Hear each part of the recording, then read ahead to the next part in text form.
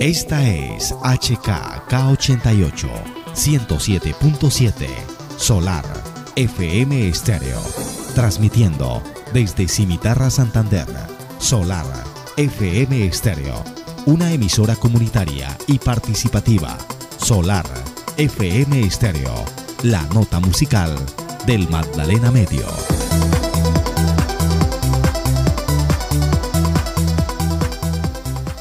La gerencia de la emisora solar FM Stereo se permite dejar expresa constancia que las opiniones emitidas en la presente emisión son de exclusiva responsabilidad de quienes las emiten, ni reflejan la filosofía o criterio de los directivos de la emisora.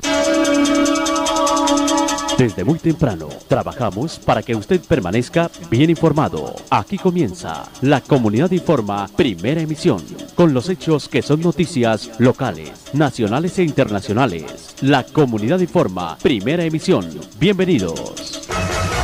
Bienvenidos y bienvenidas amigos en la sintonía Solar Estéreo 107.7. Una excelente mañana para todos.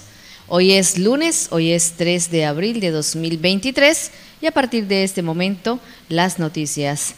Marta López en la lectura, la dirección general del señor Roque Luis Olaya y la participación de nuestros oyentes al 315-631-3310 y en la carrera cuarta número 721, el micrófono cívico disponible para que nuestras comunidades participen y nos den a conocer los hechos de su sector, barrio o institución a través de la línea WhatsApp 315-631-3310 para recibir sus imágenes o videos en esta mañana de noticias.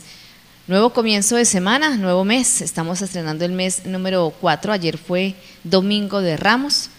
Eh, hoy es lunes, día 92 del año. Y con ustedes la información local, departamental, nacional e internacional ya por acá transmitiendo a través de Facebook Live. Muchas gracias a quienes llegan para acompañarnos en este espacio comunitario. Las seis con ocho minutos, muy pero muy buenos días a mi gente de las diferentes veredas, oyentes con Solar FM Estéreo en los diferentes departamentos a nivel nacional e internacional que también están con nosotros en esta mañana solar. Un abracito de buenos días para los amigos de Barranquilla, de la India, Puerto Wilches, Puerto Boyacá, Puerto Berrío. Están en sintonía Solar Estéreo. Excelente mañana para José Alberto de Piayú. Buenos días, Marta, ¿cómo estás? Feliz inicio de semana y bendiciones para todos. Muchas gracias, amén. Igualmente, Vitaliano Rodríguez, ¿qué tal? Una feliz mañana para Héctor Manuel López Vita desde Barranquilla, oyente con Solar Estéreo. Y la frase de hoy, el Señor es mi luz y mi salvación. ¿A quién temeré? El Señor es la defensa de mi vida. ¿Quién me hará temblar? Amén. Buen día paz y prosperidad desde Barranquilla con Héctor Manuel López Vita. Seis, ocho minutos. Sistema informativo. Pico y placa para Bucaramanga. Ya tenemos por acá el nuevo pico y placa para la ciudad de Bucaramanga. Hoy lunes, las terminadas en 3 y 4. 3 y 4 es el pico y placa para la ciudad bonita en este lunes 3 de abril. Jorge Salamanca y familia desde el taller de la séptima, escuchando Solar FM Estéreo. Saludito de buenos días para mi gente de la carrera séptima. Oyentes con Solar FM Estéreo en el cruce de Santa Rosa y en el sector de Coscorrón. Muy buenos días para doña Carmen Zapáez y José Cañón. Buenos días, la belleza de la vida es despertar cada mañana con la bendición de Dios y mucha fe en el corazón que este nuevo día que comienza, la bendición de Dios caiga sobre todos nosotros. Amén. Gracias a don Jorge en la séptima. Sistema informativo. Solar FM Estéreo les invita para que en esta Semana Mayor, ya estamos en Semana Santa, hoy es lunes santo, hagamos de eh, la hospitalidad de los viajeros, de todas las personitas que nos están visitando por estos días en nuestro municipio, que se lleven una buena imagen del mismo en cuanto a la limpieza, en cuanto al trato, a los amigos comerciantes que por favor atiendan bien, no solamente al que llega, sino a todo el que permanece y el que merece respeto aquí en la comunidad de Cimitarra. Estamos en una temporada donde esperamos que se active bastante el comercio, puesto que ya tenemos bastante personitas visitando el municipio de Cimitarra. Así que por favor, trate de tratar cordialmente a las personas y de que el aseo en su cuadra sea excelente. Sistema informativo. Solar Estéreo 6 de la mañana, 10 minutos. Hace unos días hice una publicación en el Facebook y quiero hacer el comentario también acá por Solar Estéreo. El viernes en la noche, eh, mi hermanito menor, mi hermanito John Esteban, sufrió un accidente en el sector de Comultrasan. A eso de las 11 de la noche, dos mujeres en una motocicleta lo atropellaron, lo dejaron tirado en el suelo y se perdieron, se esfumaron, omitieron su responsabilidad. Ya uno se imagina, sin documentos, sin cómo responder, entonces salen y se van. Pues gracias a Dios no pasó a mayores, pero sí, sí fue bastante el golpe. Tiene puntos en el mentón y tiene bastante raspado la rodilla, los brazos, el pecho sufrió un golpe también y de manera muy, muy cordial y especial a las dos señoras que lo levantaron, que lo llevaron al hospital, muchas gracias, que mi Dios les pague, gracias por ese gesto, porque no cualquiera se hace responsable de una persona herida en la calle. Entonces, esto, darle las gracias a estas señoras que lo llevaron al hospital, porque no sé por qué mi hermanito no nos llamó a nosotros, a ninguno de la familia, le avisó lo que había sucedido y las señoras lo esperaron, no pasó a mayores como les digo, pero los daños de la moto, la incapacidad de él en casa ahora, mientras se recupera, por eso estamos ya investigando a través de las cámaras del sector quiénes fueron estas dos personas que iban en la moto. Alguien me dijo, pero ¿para qué? Si no tenían con qué tener los documentos al día de la moto, mucho menos van a tener con qué responder. Sí, la moto en la que él iba sufrió daños que hay que reponer, que hay que reparar, que hay que gastar, hay que invertir y también él para medicamentos y lo demás, porque ustedes saben que para una recuperación más rápida pues hay que invertir porque lo del seguro no, no alcanza. Pero a estas dos personas, a estas dos mujeres, ya estamos mirando los videos del sector, porque aunque ellas no tengan con qué responder, esto no se puede quedar así. O sea, la irresponsabilidad. Yo sé que en el municipio de Cimitarra, como en muchas partes, muchas personas manejan eh, sin documentos, pero que sean más precavidos, más si no tienen con qué responder, que sean más precavidos, al menos haber esperado, haberlo levantado, haberlo llevado al hospital, porque si no hubiese sido por estas dos señoras y mi hermano que quedó pues herido, sin, no llamó a nadie de la familia, entonces, ¿qué hubiese sido de mi hermanito? ¿Mm? Da indignación, da mucha rabia, porque sí les confieso, me da mucha rabia que esto haya sucedido y le puede suceder a cualquiera. Y aprovechamos los medios, el de Solar Estéreo, las redes sociales, para decirle a toda la comunidad, aquellos que se van a tomar los fines de semana, no son precavidos, porque o si no tienen experiencia, pero para ponerle velocidad al velocípedo sí, si tienen la energía y las ganas, pueden suceder hechos lamentables. Muchas cosas pasan por la irresponsabilidad. Entonces, eh, muchas gracias una vez más a las dos señoras de buen corazón. Todavía no he podido saber quiénes son. Muchas gracias por haberlo llevado y haberlo traído nuevamente, haberlo esperado en el hospital, porque como les digo, él no nos avisó a nosotros los de la familia, a ninguno. Nos venimos a dar cuenta fue hasta el siguiente día, a mediodía, cuando él llegó a la casa, puesto que en el accidente hasta las llaves perdió y no pudo llegar a la casa, sino donde un amigo que se hospedó y no nos avisó a nosotros. Pero da indignación que haya pasado esto y que de pronto por la hora y por el sector no era tan concurrido. 11 de la noche, sector de Comultrasan, a esta cuadra es solita esa hora, es solita a las 9 que salgo yo de acá de la emisora. Hay una cuadra más allá donde sí se ve bastante gente, pero ahí ellas pudieron hacer la fechoría e irse me las imagino pues incluso hasta riéndose porque muchas veces pasan estas cosas. Entonces, gracias a todos y estamos investigando quiénes fueron las que ocasionaron el accidente de mi hermanito John Esteban. Las 6:14 minutos en Solar Estéreo, muy buenos días para nuestra audiencia de Facebook Live. Excelente mañana, Adrián Leonardo Telles Chavarro. Muy buenos días, Martica. Saludos desde Vélez. Muchas bendiciones a toda la familia Solar Estéreo.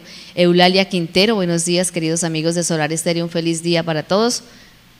Eh, dice por acá en su programa, muchas gracias. Blanca Dori López Murcia, en la ciudad de Bucaramanga. Rosa Barbosa Quiroga, Esperanza Rojas, mi tía Esperanza, en Suaita Santander. Blanca López, un abrazo desde Bogotá, feliz lunes para todos. Rosa Barbosa, feliz y bendecido día. Hola Jenny Paola Arisa Cepeda, buen día. Gilberto Sánchez Cruz, buenos días. Excelente mañana para Norman, el Alfonso López.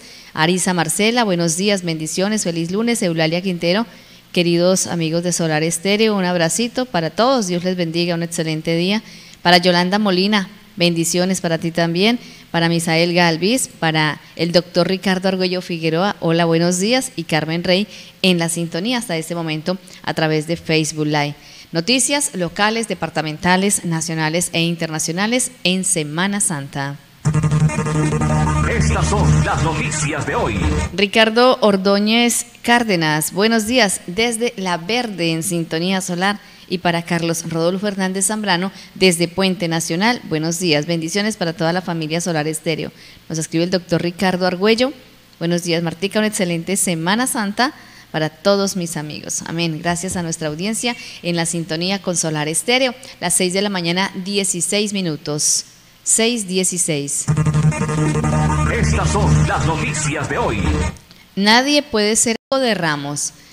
Francisco, aún convaleciente, reapareció en la plaza de San Pedro ante unos 30 mil fieles, según cifras de la Santa Sede, después de pasar tres días ingresado en el hospital Gemelli de Roma a causa de una bronquitis que le sobrevino el pasado miércoles tras la audiencia general.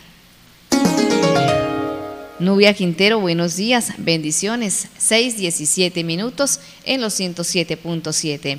Tienda Naturista La Casa Verde en la carrera tercera, pasos abajo del Chipateño. Buenos días para don Rosenberg y el personal del Chipateño, oyentes fieles. Sistema informativo. Les contamos que nueva renuncia masiva de 34 oficiales de la Policía Nacional. En las últimas horas de este jueves 30 de marzo se produjo la resolución 0449 del Ministerio de Defensa en la que establece el retiro voluntario de 34 oficiales de la Policía Nacional debido a la falta de respaldo del presidente de la República, Gustavo Petro Urrego, que ha tratado con desdén a los miembros de la fuerza pública y los ha desautorizado para combatir a los bandidos. Entre los oficiales de la alta graduación que pidieron el retiro voluntario de la institución se encuentran los tenientes coroneles Mauricio Medina, Javier Rodríguez, Andrés Galeano y Ernesto Ciabato, entre otros. Hay que mencionar que sobre el retiro voluntario de los integrantes de la fuerza pública en lo corrido de este año, el ministro de Defensa, Iván Velázquez, dijo que la matanza de soldados y policías es un proceso cíclico y normal que se da en cada una de las fuerzas y no es una crisis. Indicó el ministro que varios de los oficiales que piden ser retirados lo hacen porque no fueron llamados a los cursos de ascenso y otros por situaciones personales, pero negó que se trate de una crisis al interior de la fuerza pública.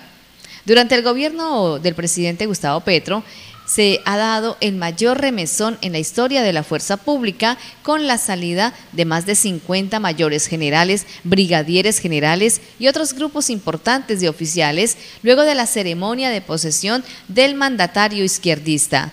Para la veeduría de la policía, estos retiros voluntarios se dan por el descontento que hay dentro de la institución. Los retiros de la Policía Nacional se están produciendo por desmotivación del nuevo gobierno y por el abandono jurídico que hay para los policías en la lucha contra la subversión y el terrorismo. Sistema informativo. Mari Castañeda, buenos días, ¿cómo está? Saludito de buenos días para mi gente del lavadero de carros y motos de la calle 9, Diego Inorelli, Sebastián y Braulio, Camillosos. No somos los únicos, pero sí los mejores. Solar la que mejor se oye. Feliz Semana Santa para todos. 6 de la mañana 19 en Solar FM Estéreo, 6.19 minutos. En otras noticias, continúan aumentando los contagios por dengue en Bucaramanga. Los casos de dengue en Bucaramanga siguen en aumento. De acuerdo con las autoridades de salud, la capital santandereana reporta actualmente 199 casos activos, por lo que se estima que por semana se están presentando cerca de 18 casos. Hasta el momento la ciudad sigue en situación de alerta y las poblaciones que mayor han resultado contagiadas son los niños y jóvenes entre 10 y 14 años, indicó Nancy Cañón, secretaria de Salud de Bucaramanga. Es por ello que desde dicha cartera se han venido realizando distintas actividades para controlar la reproducción del mosquito Aedes aegypti, cuya picadura es la causante del dengue, y de esta manera disminuir la incidencia de la enfermedad en la ciudad. Estamos haciendo visita con 13 técnicos en las comunas 17 y 3 corregimientos de municipio. A la fecha se han inspeccionado más de 6.600 viviendas y en cerca de 20 domicilios se han encontrado el crecimiento del vector, según aseguró Cañón. Es importante decir que durante dichos controles no solo se eliminan los criaderos, también se efectúan charlas informativas para recordarle a la ciudadanía sobre los cuidados que se deben tener en cada una de sus casas. Algunas recomendaciones. Semanalmente lavar y cepillar los tanques y albergas para eliminar los huevos del mosquito Aedes aegypti. Cambiar de manera frecuente el agua de los bebederos de animales y de los floreros. Tapar los recipientes que contengan agua. Usar ropa como pantalones y camisas de manga larga para minimizar la exposición a la picadura. Utilizar toldillos para dormir o al momento de descansar durante el día. En especial mujeres embarazadas, niños ancianos e individuos enfermos aplicar repelentes en la piel que contengan el icardín. A pesar de que la curva de contagios va en aumento, hasta el momento ninguno de los contagios ha fallecido a causa de la enfermedad, pues de acuerdo con los datos, el 55% de los casos no han presentado signos de alarma.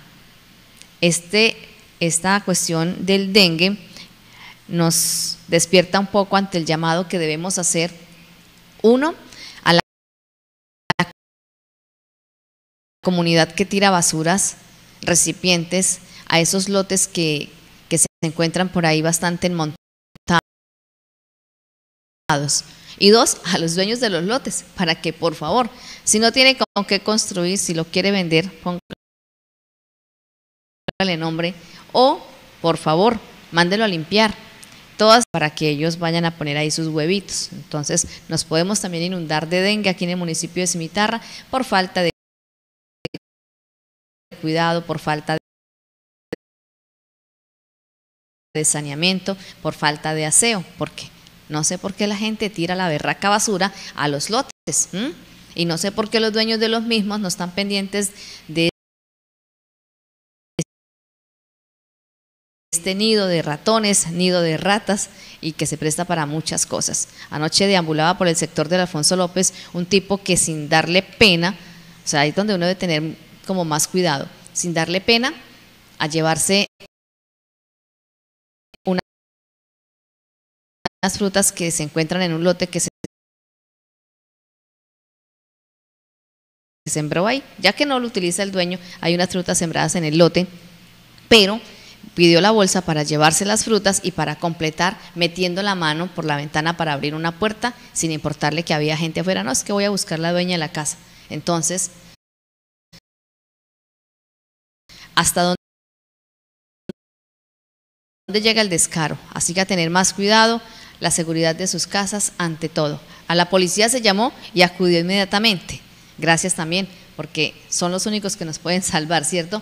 Gracias por haber acudido a tiempo el personal de la policía, el cuadrante que le corresponde al sector del barrio Alfonso López. Saludo de buenos días por acá en sintonía. John González Buenos días, cordial saludo para todos mis amigos y paisanos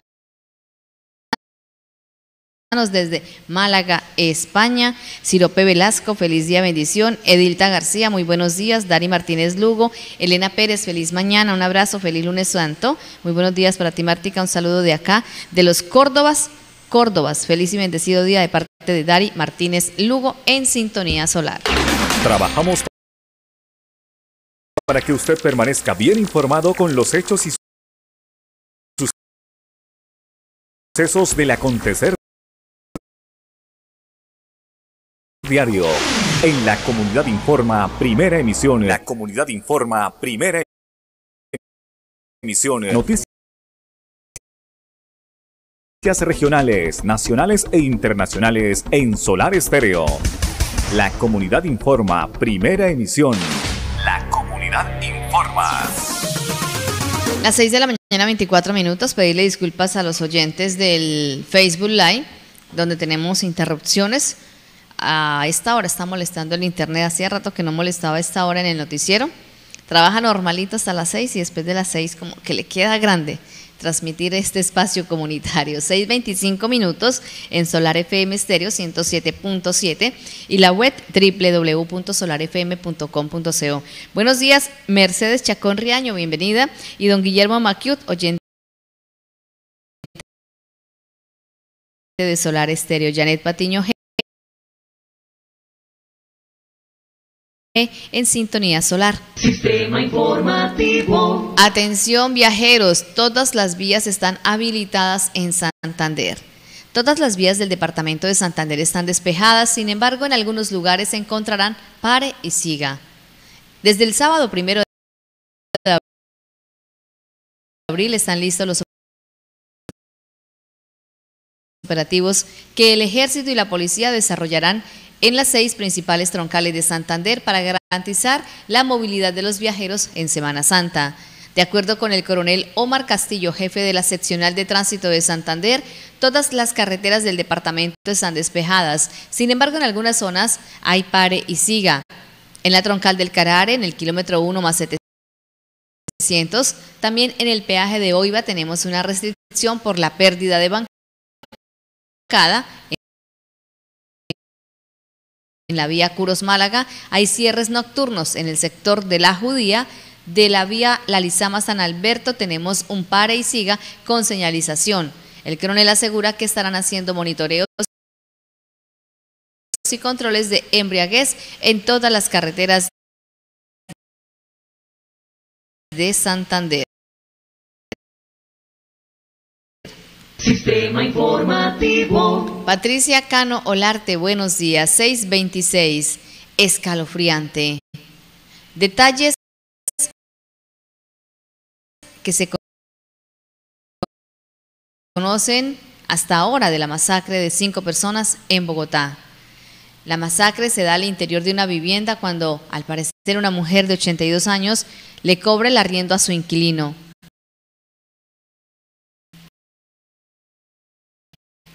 De forma alterada inician una discusión. El hombre le propina una herida a esta mujer y a su esposo. Ella fallece en este acto.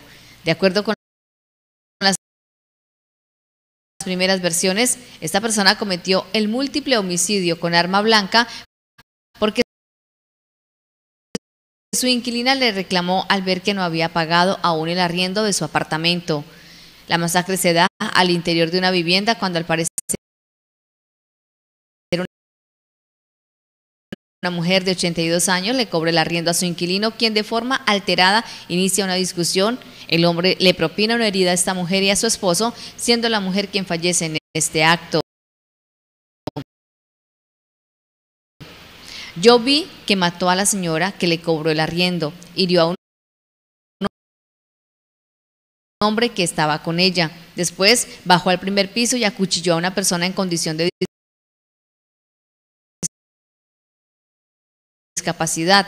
Al verse acorralado, volvió a subir a la terraza y fue ahí cuando la policía le dio dos tiros, relató un testigo del hecho.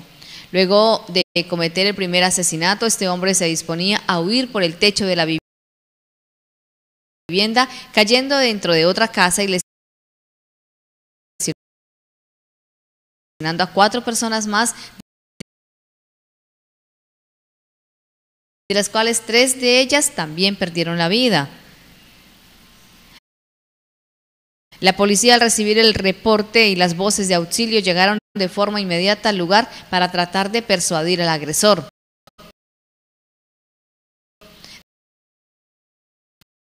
Sin embargo, este continuó reaccionando de manera agresiva usando el arma con la que asesinó a sus cuatro víctimas, intentando lesionar a los uniformados, por lo que no tuvieron más opción que abatirlo en el lugar. La primera hipótesis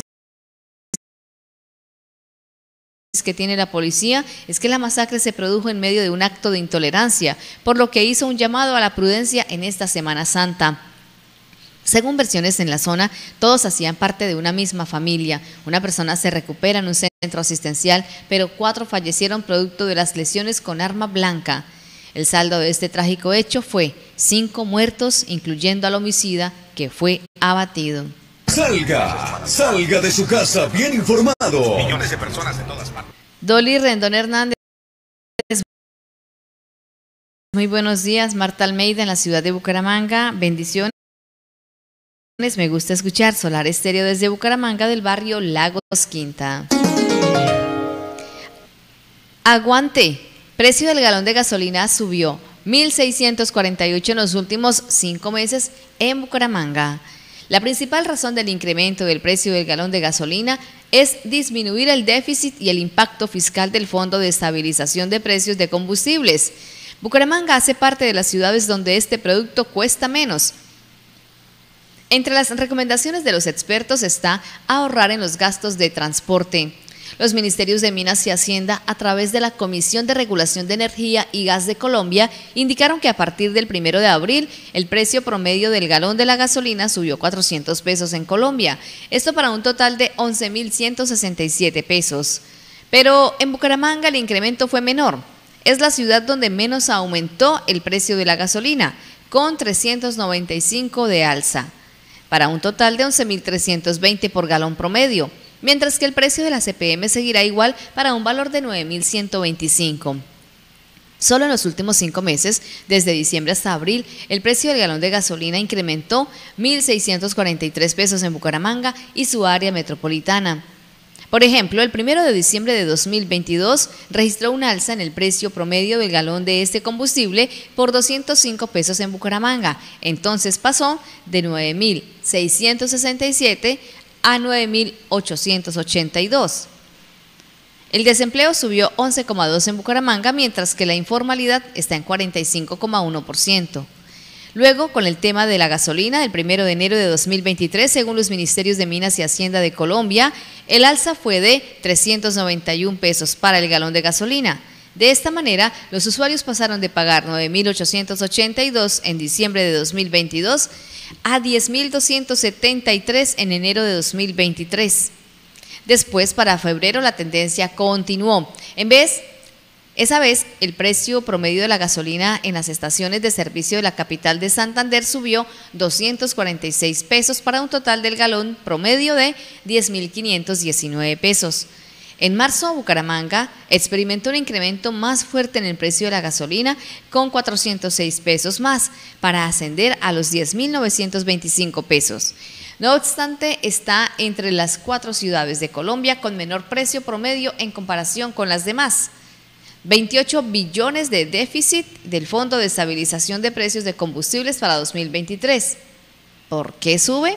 Según el gobierno, la subida en el precio de la gasolina corriente en Colombia es para disminuir el impacto fiscal del Fondo de Estabilización de Precios de Combustibles.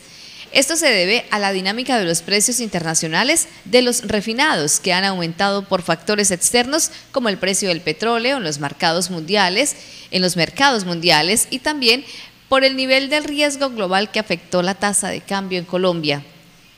De no haber contado con la operación del Fondo de Estabilización de Precios de Combustibles en lo corrido de 2023, el precio de la gasolina corriente y de la CPM se hubiera ubicado en promedio entre 5 mil y 9.800 pesos por encima del precio de venta promedio vigente por galón, respectivamente, dijo la Comisión de Regulación.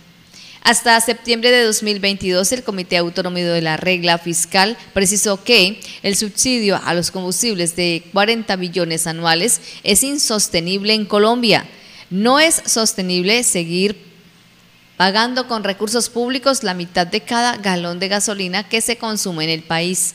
De esta manera, estas alzas llevaron a que el rubro de transporte en Colombia fuera el factor que más contribuyó al aumento de costo de vida de los colombianos y al comienzo de 2023 con 3,98% debido a las altas tarifas de pasajes en el transporte público y la subida del valor de la gasolina en el territorio colombiano. Salga, salga de su casa bien informado. Millones de personas de todas partes. Don Eugenio Andrade, muy buen día, Dios le bendiga. Luis Pérez, saludos desde Bogotá.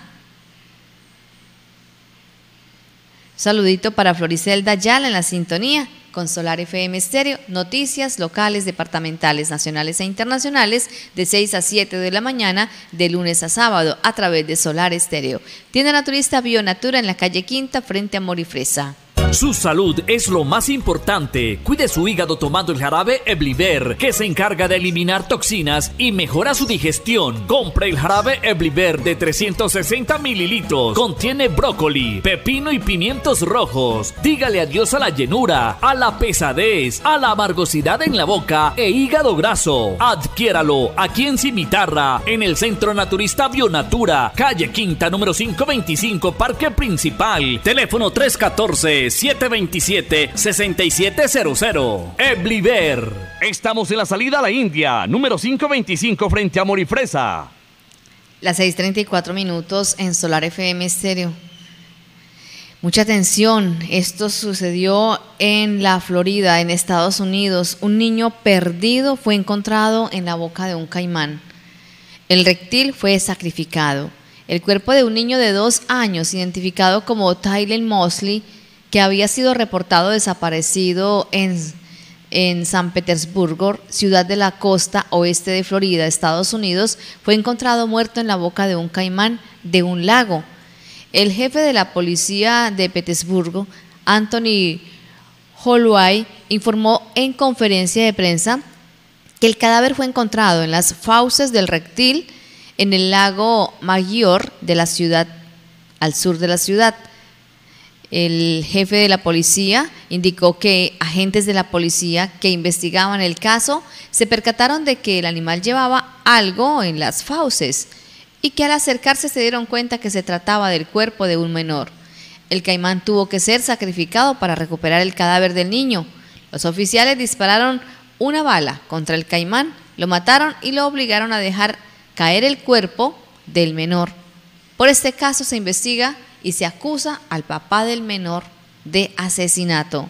Medios locales señalan este sábado que no se conocen detalles de la muerte del menor y que el padre de la víctima está hospitalizado y se enfrenta a dos cargos por homicidio. Sistema informativo. Elizabeth Mora, buenos días. Gracias por la sintonía. Pipe Castro, saludes.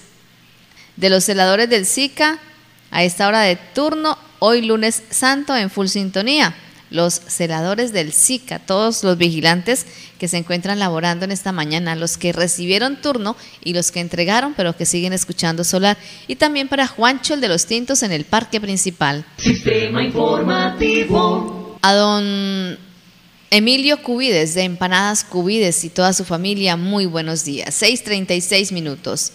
Inmovilizan ambulancia que simuló emergencia para usar el carril exclusivo en Bucaramanga. La Dirección de Tránsito de Bucaramanga ha logrado inmovilizar y sancionar en una jornada a más de 60 automotores por invadir el carril exclusivo. Como absurdo fue calificado por el director de tránsito de Bucaramanga, Carlos Bueno, el que una ambulancia estuviera transitando a toda velocidad y con las luces y las sirenas encendidas por el carril exclusivo de Metrolínea sin que realmente llevara algún paciente con una emergencia médica en su interior. Por este hecho, el vehículo fue inmovilizado por las autoridades que además hicieron un llamado de atención para que este tipo de casos no se sigan repitiendo en la ciudad. En la Dirección de Tránsito de Bucaramanga somos justos y humanitarios, pero estrictos. Las ambulancias solo deben transitar por el carril exclusivo cuando atiendan una verdadera emergencia médica y la autopista se encuentre represada. Esos vehículos son para salvar vidas, no para ser utilizados como taxis, escribió en su cuenta de Twitter el director de tránsito de Bucaramanga, Carlos Bueno. Por su parte, habitantes de Bucaramanga rechazaron el acto de imprudencia de la ambulancia y apoyaron la labor de las autoridades. Excelente labor, que las ambulancias dejen de estar acosando por todas partes, pidiendo vías sin llevar pacientes, solo para llevar los hijos al colegio, ir a almorzar o compitiendo por la prioridad de acaparar posibles pacientes ante cualquier choque. Así no haya heridos, escribió en las redes sociales Eliseo Osorio, habitante de Bucaramanga. Además, en redes sociales también les pidieron a las autoridades intensificar las labores para que estas acciones no se vuelvan a presentar. Me parece maravilloso. Ahora faltan los carros de los políticos y los de la policía que sin estar en alguna actividad que merezca usar el exclusivo, también usan de manera cotidiana y exclusiva el carril de Metrolínea, opinó Cristian Rojas, habitante de Bucaramanga. La Dirección de Tránsito de Bucaramanga ha logrado inmovilizar y sancionar en tan solo una jornada a más de 60 automotores para invadir, para invadir el corredor vial escogido para el transporte público masivo de Bucaramanga. Y entre los vehículos que han sido detectados se han encontrado hasta marcas lujosas de alta gama. Y aunque suene paradójico, ambulancias son las que más incumplen la regla, como en este caso. Salga, salga de su casa bien informado. Millones de personas de todas partes. Einer Hernando Moncada, muy buenos días Martica, un saludo muy especial desde Tocaima y con deseos de viajar mañana para Santander. Bueno, qué bien. Einer Hernando, que Dios le bendiga, que tenga una excelente semana mayor. Las 6 con 39 minutos. Johnny Arlán ya volviste. Buenos días. Martica y todos los oyentes. Gracias por la compañía en esta mañana. 639. Capturan a primo de ex jefe paramilitar con cerca de 14 mil millones de pesos en efectivo en Medellín. El judicializado tendría vínculos con el clan del Golfo y escondía esta millonaria caleta en una vivienda. El ministro de Defensa, Iván Velázquez, reveló que un duro golpe contra las finanzas del clan del Golfo, reducto del paramilitarismo en Medellín, el resultado se dio el pasado miércoles en una vivienda de Medellín donde fue incautada la millonaria suma de 13.982 millones de pesos en efectivo que estaban encaletadas en cajas guardas debajo de cama o guardadas debajo de camas, paredes y cajones en billetes de 50 mil y 100 mil pesos. Además fue capturado José Ruiz Arroyave, primo del fallecido Miguel Arroyave, alias el Arcángel, comandante del bloque Capital y bloque Centauros de las Autodefensas Unidas de Colombia. El pariente del del ex paramilitar tendría vinculación con el ahora clan del Golfo, liderado por alias Chiquito Malo, una tendencia de las autodefensas que sería responsable de la millonaria Caleta. El ministerio y su representante Velázquez calificó este operativo como un duro golpe contra las finanzas criminales en el país, mientras destacó el trabajo de la Policía Nacional. Cabe recordar que alias el, el Arcángel fue el narcotraficante encomendado por Vicente Castaño para manejar el bloque Centauros de las AUC en los llanos orientales desde 2002 hasta 2004, año en que fue asesinado por sus propios subalternos.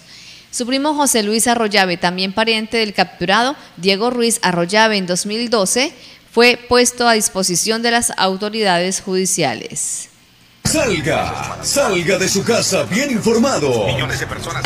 Trabajamos para que usted permanezca bien informado con los hechos y sucesos del acontecer diario.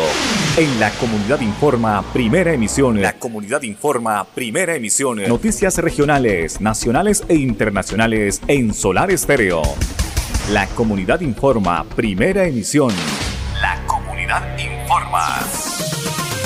Un, dos, tres, con Solar Estéreo otra vez. Buenos días, don Enrique Rodríguez, bienvenido, muchas gracias. Excelente día. En 19 minutos, víctima mortal. El soldado profesional Santiago Isaza Moreno, adscrito a la octava división del ejército, falleció en las últimas horas pese a los esfuerzos del personal de especialistas médicos del Hospital Militar de Bogotá. El joven uniformado había sido herido el pasado 14 de marzo en Saravena, Arauca, en una acción terrorista efectuada al parecer por un francotirador del ELN que lo hirió mortalmente. El ejército confirmó el fallecimiento del soldado y rechazó el hecho máxime que éste se encontraba en cumplimiento de su deber protegiendo a la población de Saravena. El ejército indicó que las denuncias de este hecho se instaurarán instaurarán ante los organismos competentes. Este comando continúa con el acompañamiento a la familia del soldado profesional Santiago Isaza Moreno, con el personal de psicólogos y orientadores espirituales, extendiendo sus más sentidas condolencias y elevado o elevando plegarias al Todopoderoso por su eterno descanso, añadió la institución castrense. Salga, salga de su casa bien informado. Millones de personas en todas partes. Delgado Andrés, buenos días, feliz mañana, las 6:43. Mujer fue apuñalada por su pareja cuando fue a visitarlo a la cárcel de Palo Gordo en Girón. El reo se encontraba con su pareja y por motivos que son materia de investigación, sacó un arma cortopunzante que fabricó de manera artesanal y la apuñaló. En la tarde de este domingo, una mujer identificada como Jenny Paola Correa Medina fue apuñalada en el cuello por su compañero sentimental en medio de una visita que ella le hacía al privado de la libertad en la cárcel de máxima seguridad de Palo Gordo en Girón. El ataque sucedió en el patio 8, en donde se cumplía la visita autorizada del fin de semana para los familiares en el centro de reclusión.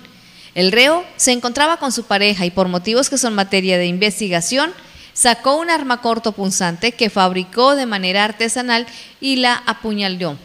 La mujer alcanzó a ser atendida por los guardianes, quienes la trasladaron en una ambulancia del IMPEC al Hospital Universitario de Santander ahora está bajo pronóstico reservado después de una intervención quirúrgica.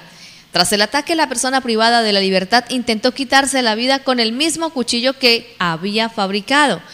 Sin embargo, los guardianes del centro penitenciario lo detuvieron y le quitaron el, objeto cortopunzante. Salga, salga de su casa bien informado. Millones de personas de todas partes. Buenos días, Aida Forero en la sintonía Solar FM Estéreo 107.7, a don Armando Galindo desde el kilómetro 15 en el sector de Landazuri. Muy buenos días. Más información, que tengas una semana repleta de cosas bonitas, te las mereces. Muchas gracias. Alexandra Rincón a esta hora, escuchando Solar Estéreo a través de la web. Escucha de lunes sábado de 6 a 7 de la mañana, la comunidad informa primera emisión con los hechos que son noticias locales, nacionales e internacionales. La comunidad informa primera emisión. La comunidad informa primera emisión.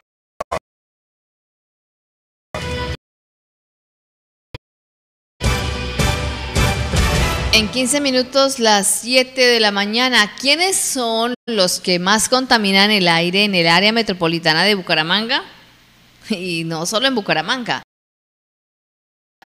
Frente al debate por los altos niveles de contaminación que se se registraron durante la semana anterior en Bucaramanga, Florida Blanca, Piedecuesta y Girón, Kibu les muestra cuáles son los principales emisores de elementos contaminantes al medio ambiente. Un estudio realizado en 2021 por la Corporación para la Defensa de la Meseta de Bucaramanga, en convenio con la Universidad Pontificia Bolivariana, cerca del plan de gestión para la ciudad y la calidad del aire, detalló cuáles son las principales fuentes que más contaminan en el área metropolitana de Bucaramanga y definió los materiales peligrosos que se expulsan o que se expulsan al ambiente. La investigación se adelantó tanto en la zona urbana como rural de Bucaramanga, Florida Blanca, Piedecuesta y Girón, con el propósito de conocer la distribución y comportamiento de las diferentes fuentes de emisiones encontradas en esos municipios. El parque automotor del área metropolitana de Bucaramanga es uno de los mayores aportantes PM2,5 del material particulado, que no es otra cosa que partículas contaminantes de 2,5 eh, micrómetros de diámetro que contiene, entre otros, polvo, hollín y metales. Este material es producido por procesos de combustión en vehículos, fábricas e incendios. De acuerdo con el estudio del total de 2,5 pm que se encuentran en el área del en el aire del área metropolitana, cerca del 60% es producido por dichos vehículos. Según las cifras de los 779.878 automotores matriculados en los cuatro municipios del área metropolitana, 233.260 corresponden a Bucaramanga y 174.572 a Florida Blanca. 377.477 fueron matriculados en Girón y los restantes 19.601 en pie de cuesta. El análisis mostró que el 63% del parque automotor que circula en el área metropolitana corresponde a motocicletas cuatro tiempos, el 30% a los autos particulares y las demás categorías representan menos del 10% del parque automotor y corresponden al 3% de vehículos comerciales, taxis y servicio especial el 2% a motocicletas de dos tiempos y el 5% restantes a camiones, buses, eh, buses de servicio especial, tractocamiones, metrolínea y volquetas. Los resultados del análisis que mostraron que el 100% del PM2,5 que emiten los vehículos del 60% lo aportan las motocicletas. Allí se descartó que de los escapes de las motos cuatro tiempos salen 14.744 toneladas de monóxido de carbono por año y 3.320 compuestos orgánicos volátiles. Por su parte, el 40% del monóxido de carbono que se encuentra en el aire es responsabilidad de los automotores particulares. Esto equivale a 16.506 toneladas por año. También son responsables de emitir 1.906 toneladas por año de óxido de azufre. En los datos se llamó la atención acerca del potencial contaminante de las volquetas que emiten cerca de 542 toneladas de monóxido de carbono por año y, 695 toneladas por año de oxígeno de nitrógeno en el mismo periodo de tiempo. Para el caso de los tipos de combustible, los más que contaminan son gasolina y diésel.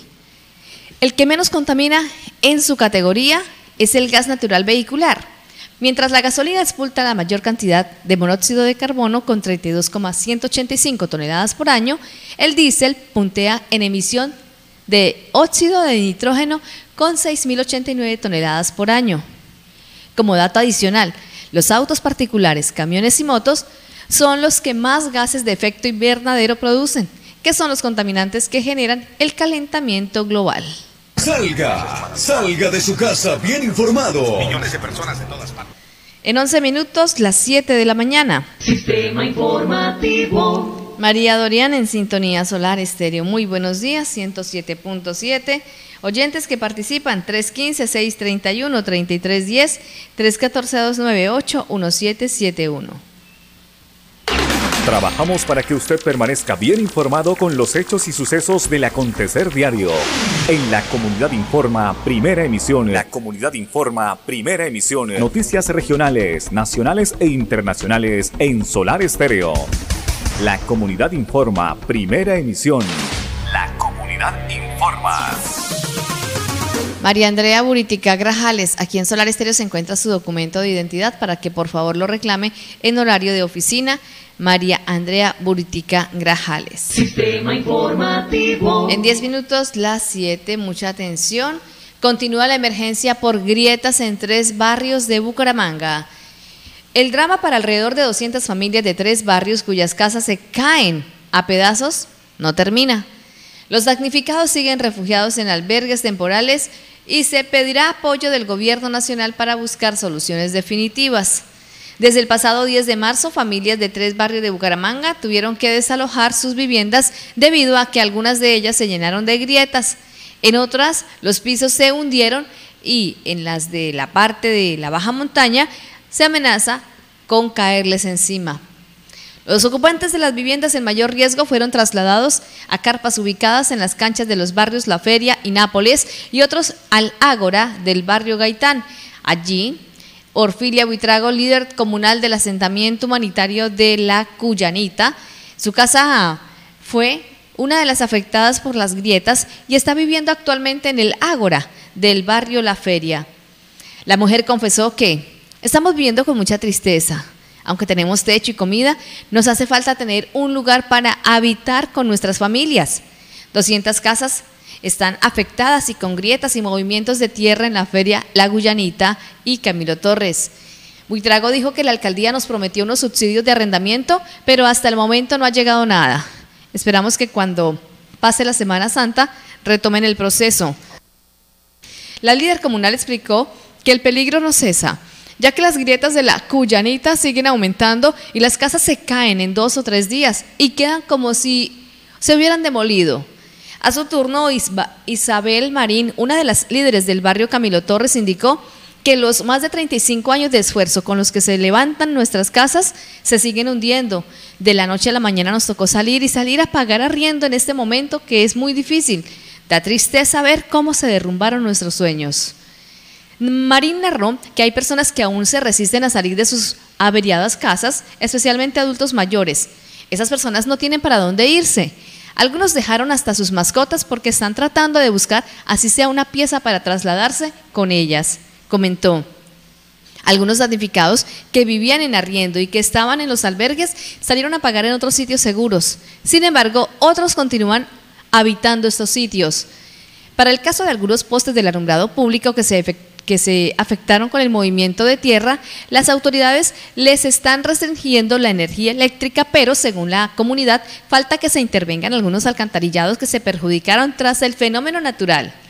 Por su parte, Marlene Mayorga, habitante de la peatonal ubicada en la calle 25 con carrera 1A del barrio La Feria, manifestó que en esta zona se habitan cerca de 35 familias y que cuando recibieron la visita de la alcaldía les aseguraron que allí no resultaron afectados, pero que no debían bajar la guardia ante cualquier señal de alerta.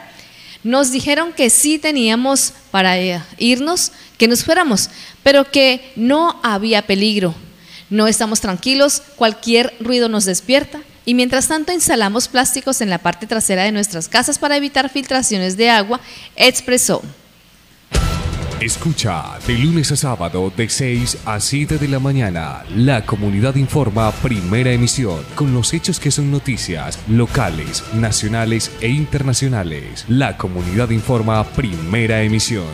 La comunidad informa primera emisión. El saludito para Luis Alejandro Rojas Niño, llegando a la sintonía a nuestros oyentes de Bucaramanga. Feliz mañana, las 6 con 54 minutos. Esta es Solar Estéreo 107.7 con las noticias del lunes 3 de abril. Trabajamos para que usted permanezca bien informado con los hechos y sucesos del acontecer diario. En la Comunidad Informa, primera emisión. La Comunidad Informa, primera emisión. Noticias regionales, nacionales e internacionales en Solar Estéreo. La Comunidad Informa, primera emisión. La Comunidad Informa. Solar FM Estéreo con las noticias 107.7. Un saludito de buenos días para mis amigos del cruce de Santa Rosa. Mucha atención. Menor de 17 años falleció en un accidente en Santander. La primera muerte por accidente de tránsito al inicio de Semana Santa en carreteras de Santander se registró en la vía entre Bucaramanga y Pamplona en la tarde del domingo. En el sector conocido como El Topón, antes de llegar al corregimiento de Berlín, un joven de 17 años, estudiante de sexto bachillerato, que conducía una motocicleta, perdió la vida cuando fue aplastado por la carga de un camión tipo turbo. El conductor del vehículo de carga pesada perdió el control del automotor según la versión de que él le entregó a las autoridades porque la motocicleta se le atravesó por su carril y al tratar de esquivarla se volcó de manera lateral cayendo sobre el menor. Sistema informativo. Saludito para Jaime Díaz en la victoria, en la sintonía solar. Luis Alejandro Rojas Niño, hola, hola, buenos días, la bendición de Dios para todos los oyentes de Solar Estéreo. Para todas esas familias que salen de viaje, juiciosos, dejen su mal genio, sonrían, sonrían. Saludos para la cuchita Esperanza Rojas, juiciosos, sonrían, sonrían. Chao, chao, bendición. Primo en Bucaramanga. Y contesta la tía de una, uy, hola familia, una bonita semana de recogimiento. Que Dios nos bendiga y nos guarde siempre gracias a estos dos angelitos que Dios colocó en el camino de mi sobrino y lo ayudaron. Muchas gracias. Dios las bendiga siempre a ustedes y a sus allegados. Un abracito. Gracias, tía. Dios me la bendiga. Un abracito. Mi gente de Bucaramanga, de Suaita, a donde llegamos en cada mañana, en cada programación con Solar Estéreo. 656, Marta López en la lectura de noticias, la dirección del señor Roque Olaya. Un excelente día para todos y un bendecido comienzo de Semana Mayor. Con los hechos que fueron noticia local, nacional e internacional, hemos presentado La Comunidad Informa, primera emisión. Esta es HK K88 107.7 Solar Estéreo, transmitiendo desde Cimitarra Santander. Solar FM Estéreo, una emisora comunitaria y participativa. Solar FM Estéreo, la nota musical del Magdalena Medio.